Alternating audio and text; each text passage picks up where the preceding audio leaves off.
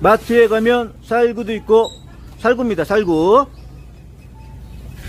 자 어르신들도 좋아하고 아기들도 좋아하더라고요 살구. 색깔이 너무 이쁘죠? 아주 색깔이 이쁜 살구. 그리고 오래 나오지 않아요. 한 달 정도? 그 정도 나오고 그만 나옵니다. 맛있는 요 살구 탁구공 만화 사이즈 저희가 12개 담았어요 12개 담아서 착한 가격. 자 5천원 5천원 5천원씩 받고 있습니다. 좋습니다. 좋고요. 굿